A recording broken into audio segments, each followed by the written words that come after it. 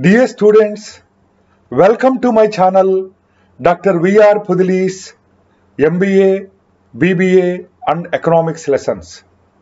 I am doing a series of videos on methods of measuring national income. In this video, I am dealing with product method which is also known as value added method. Methods of measuring national income. 1. Product method or value added method.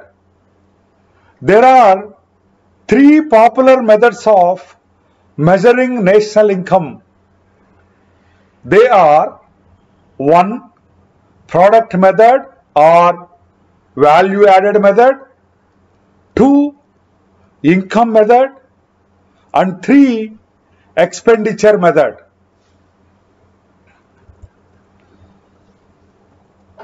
Let us now deal with product method or value added method. In this method, the value of all goods and services produced in different sectors during the year is added up. This is also known as the value added method. In product method, there are three steps in computing the national income of a country. They are 1. To identify the producing enterprises and to classify them into sectors. 2. To estimate net value added of all the sectors to arrive at net domestic product at factor cost. And 3 to estimate net factor income from abroad which has to be added to net domestic product at factor cost to arrive at national income of the country.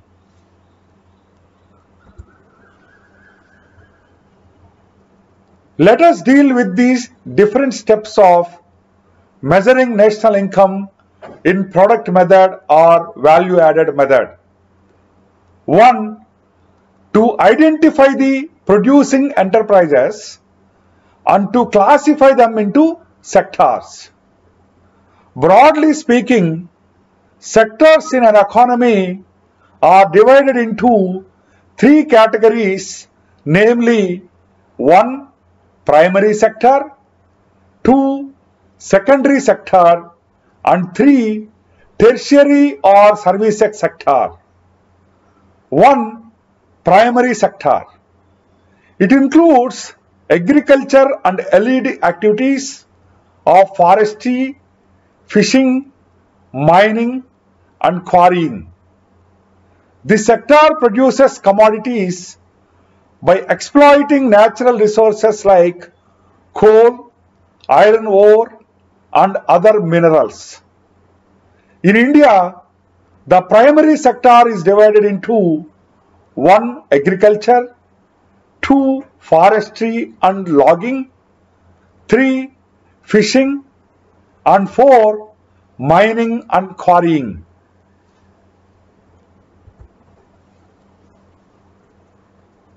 Two, secondary sector. It consists of the manufacturing sector. In India, the secondary sector is divided into 1. Registered manufacturing 2. Unregistered manufacturing 3. Construction and 4. Electricity, gas and water supply 3. Tertiary sector or service sector.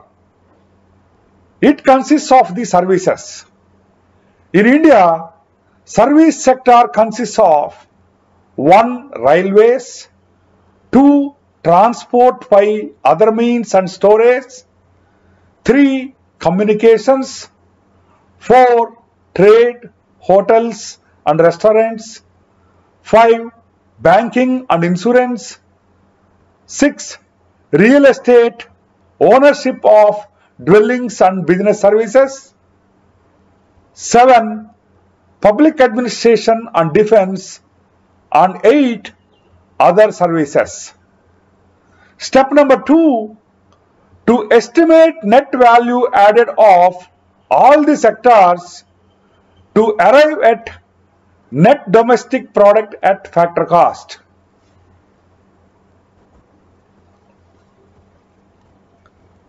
After identifying the sectors of an economy, the next step is to find out net value added of each of these sectors. The term value added refers to addition of value by a producing unit to raw materials and services known as intermediate inputs used in production. What a producer produces is termed as the output. Value added is the difference between the value of output and the cost of intermediate inputs. Dear students, I had given a table showing the calculation of value added. In this table, there are five columns. In the first column, I have taken serial number of the sector.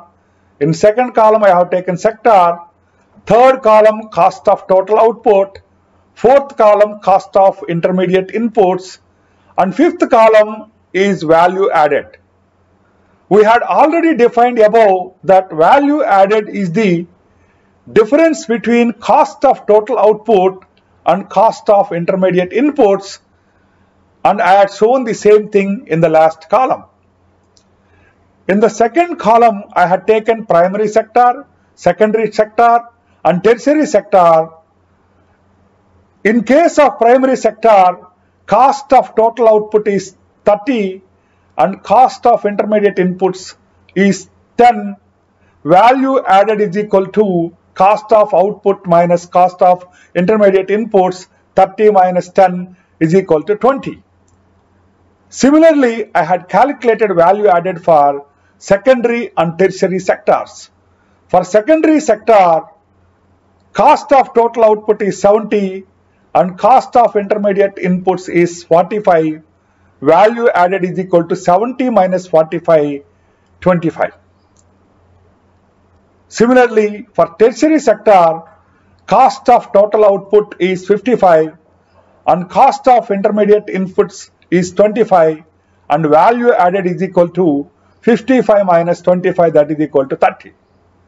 We can observe that for total economy from all the three sectors, cost of total output is 155 cost of intermediate inputs is 80, value added is 155 minus 80 that is equal 75. Dear students, in calculating national income in product method, we take 75 instead of total cost of total output of 155 in this method.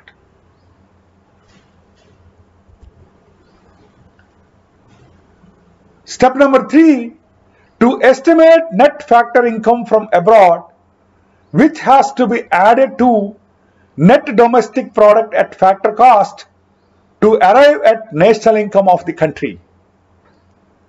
Net factor income from abroad consists of three parts, namely 1. Net compensation of employees 2. Net income from property and entrepreneurship 3 net retained earnings of resident companies abroad. Dear students, points to be kept in mind while estimating national income by product method include 1. Production for self-consumption has to be included in national income. 2. Imputed rent in case of owner-occupied houses has to be included in national income. 3. Sale and purchase of second-hand goods do not constitute a part of current production and are not to be included in national income. Dear students, in this video, we had learned about first method of measuring national income that is product method which is also known as value added method. Thank you.